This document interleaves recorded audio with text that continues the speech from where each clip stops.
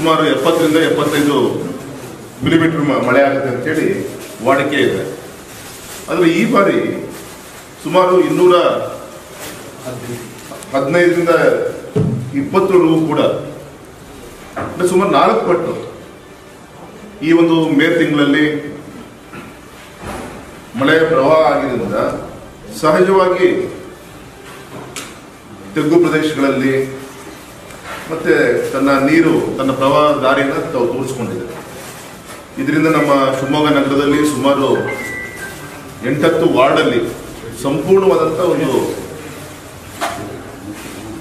ಜಲಾವೃತ ಆಗಿದೆ ಸುಮಾರು ನಾಲ್ಕೂವರೆಯಿಂದ ಐದು ಸಾವಿರ ಮನೆಗಳು ಮಳೆ ನೀರಿನಲ್ಲಿ ಸಬ್ಮರ್ಜ್ ಆಗಿದೆ. ಸಾಕಷ್ಟು ಜನರ ಒಂದು ಮನೆಯಲ್ಲಿದ್ದಂಥ ಸಾಮಾನ್ ಸಾಮಗ್ರಿಗಳೇನಿದೆ.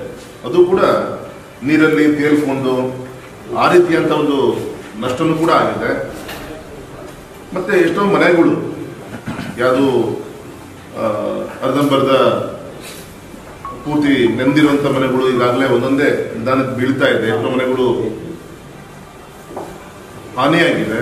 ಸೊ ಈ ಸಂದರ್ಭದಲ್ಲಿ ಈಗಾಗಲೇ ಗೌರವಾನ್ವಿತ ನಮ್ಮ ನಾಯಕರಂತ ಸನ್ಮಾನಿಸಿದ ಈಶ್ವರಪ್ಪನವರ ನೇತೃತ್ವದಲ್ಲಿ ನಿನ್ನೆ ಅವರು ಸನ್ಮಾನಿಸುತ್ತ ನಮ್ಮ ಶ್ರೀಮತಿ ಮೇ, ನಮ್ಮ ಮೇಯರ್ ಅವರು ಇದ್ದಾರೆ ನಮ್ಮ ಎಲ್ಲ ಕಾರ್ಪೊರೇಟರ್ಸ್ ಎಲ್ಲ ಒಟ್ಟಾಗೆಲ್ಲ ಇನ್ಸ್ಪೆಕ್ಷನ್ ಮಾಡಿದ್ದಾರೆ.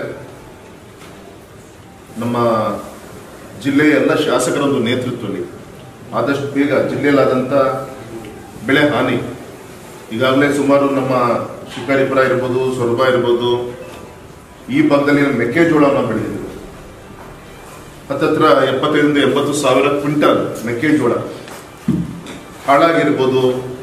ಸುಮಾರು ಹತ್ತತ್ರ ಒಂದೂವರೆ ಸಾವಿರ ಹೆಕ್ಟೇರ್ ಭೂಮಿಯಲ್ಲಿ ಬೆಳೆ ಹಾನಿಯಾಗಿದೆ ಸುಮಾರು ನೂರ ಐವತ್ತು ಹೆಕ್ಟೇರ್ ಅಷ್ಟು ತೋಟಗಾರಿಕೆ ಬೆಳೆ ಬೆಳೆ ಹಾಳಾಗಿದೆ ಅಂತೇಳಿ ಇದು ಅಂಕಿಅಂಶಗಳು ಈಗ ಈಗ ಬರ್ತಾ ಇದೆ.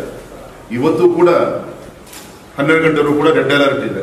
ಸೊ ಈ ಸಂದರ್ಭದಲ್ಲಿ ತುಂಬಾ ಎಚ್ಚರಿಕವಾಗಿರಬೇಕು ವಿಶೇಷವಾಗಿ ನಮ್ಮ ಜಿಲ್ಲಾ ಆಡಳಿತ, ಅದು ನಮ್ಮ ಗೌರವಾನ್ವಿತ ಜಿಲ್ಲಾಧಿಕಾರಿಗಳಿರ್ಬೋದು ಅಥವಾ ನಮ್ಮ ಕಾರ್ಪೊರೇಷನ್ನ ಎಲ್ಲ ಗೌರವಿತ ಅಧಿಕಾರಿಗಳಿರ್ಬೋದು ಈಗಾಗಲೇ ಸಾಕಷ್ಟು ಜಿಲ್ಲೆಯ ಎಲ್ಲ ಇಲಾಖೆಗಳ ಅಧಿಕಾರಿಗಳು, ಯಾರು ಕೂಡ twenty four into seven village accountant ಅಂತ ಹಿಡಿದು ಎಲ್ಲರೂ ಕೂಡ ಆ ಸ್ಟೇಷನ್ಲೇ ಇರಬೇಕು.